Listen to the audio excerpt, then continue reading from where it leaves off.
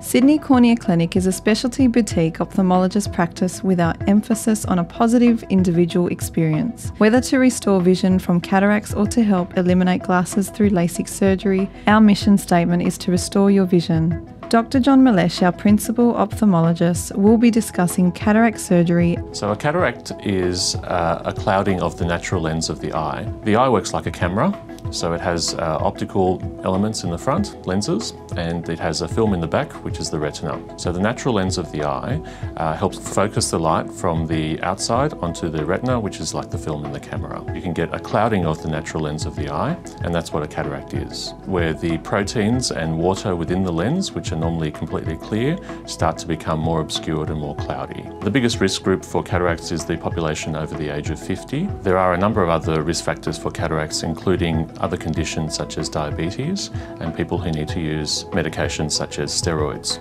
Also, there is a group of cataract patients uh, with congenital cataract where the cataract happens at an earlier age.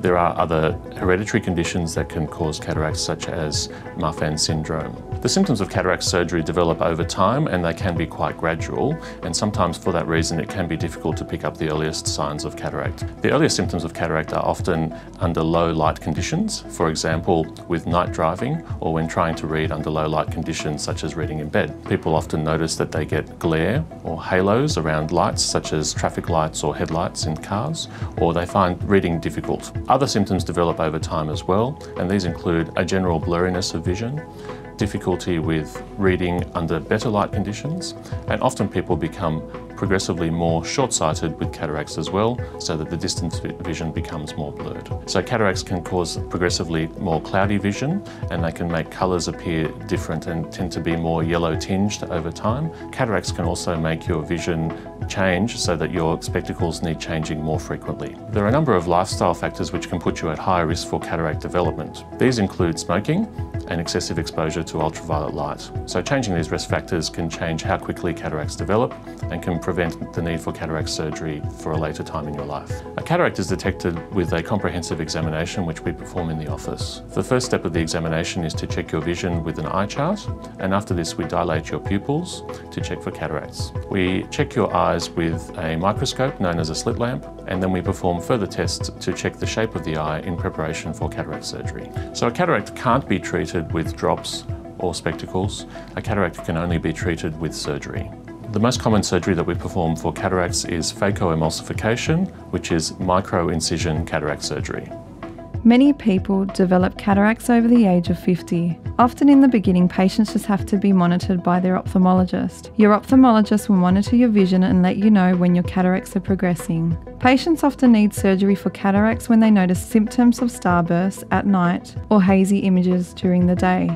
Once you have discussed the cataract surgery with your ophthalmologist, you can expect that cataract surgery will be done in either an accredited day facility or as a day patient with no overnight stay. Typically, uncomplicated cataract surgery can take as little as 10 minutes. However, the norm is 20 to 30 minutes, including pre and post op care. Prior to surgery, your eyes will be dilated with eye drops. Next, your anaesthetist will give you sedation and numb the eye with both drops and a local anaesthetic injection. Next, a special surgical tool will be used to make at least one small incision into the eye. A fluid substance called viscoelastic will be injected into the eye to help stabilize the anterior and to maintain eye pressure. A hollow tip is then inserted into the eye in the most common procedure called phacoemulsification. With this method, ultrasonic energy travels through the phaco tip to break apart the cataract. As the cataract is shattered, the phacotip vacuums out the broken fragments. Keep in mind that the cataract is the eye's own natural lens that has become cloudy. So when the cataract is removed, so is your lens. This means you'll need an artificial lens as a replacement. A usually folded acrylic intraocular lens is inserted and opens into the cavity where your natural lens was once located. Most people don't require any stitches after cataract surgery because the wound is so small it heals itself. After the procedure is finished, your ophthalmologist will instill some antibiotic ointment with dressing and a hard plastic eye shield for extra protection is recommended to wear your eye shield for about a week after surgery when sleeping to avoid rubbing the eye.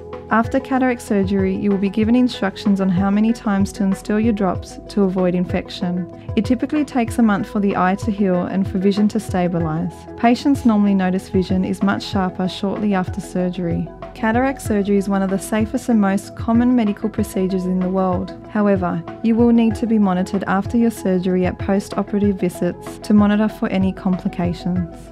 Microincision cataract surgery is the most common form of cataract surgery that we perform because under most circumstances there are no stitches required and the recovery in your vision is very quick.